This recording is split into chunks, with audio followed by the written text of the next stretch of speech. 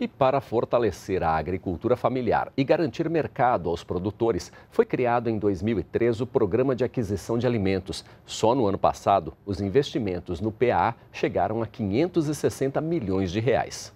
O agricultor Edson Teles produz todas essas verduras na região rural de Lusiânia, município no interior de Goiás. Edson participa do Programa de Aquisição de Alimentos há dois anos e aponta as vantagens de participar do PAA. A gente plantava e entregava para o sacolão. O sacolão pegava algum dia, passava para os colégios, mas não pegava da gente, pegava mais do SEASA. Então hoje, isso passou para nós, muitos acreditou, eu fui um que acreditei e estou bem, viu? Tem onde eu produzo e tem onde entregar a minha mercadoria.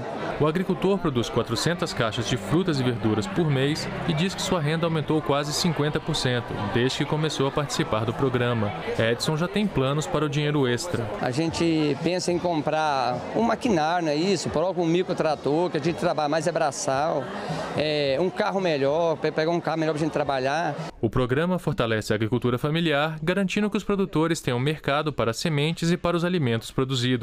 Também apoia a regulação do preço e a formação de estoques. Os produtos são destinados a povos e comunidades tradicionais em situação de segurança alimentar, entidades de assistência social, escolas públicas, restaurantes populares e bancos de alimentos. O programa de aquisição de alimentos compra mais de 3 mil produtos diferentes. É uma cesta variada que estimula a agricultura regional e beneficia famílias carentes. Neste ano, a expectativa do governo é manter os investimentos de 2015. No ano passado, o governo repassou 567 milhões de reais ao programa de aquisição de alimentos.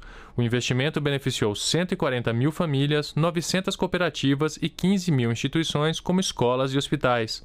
O Nordeste recebeu 40% dos recursos e foi a região mais atendida. Com o PA, a gente junta os dois lados, que é com o mesmo recurso comprar agricultura familiar e entregar para quem é vulnerável. Portanto, a ideia é esse ano ampliar para as compras institucionais.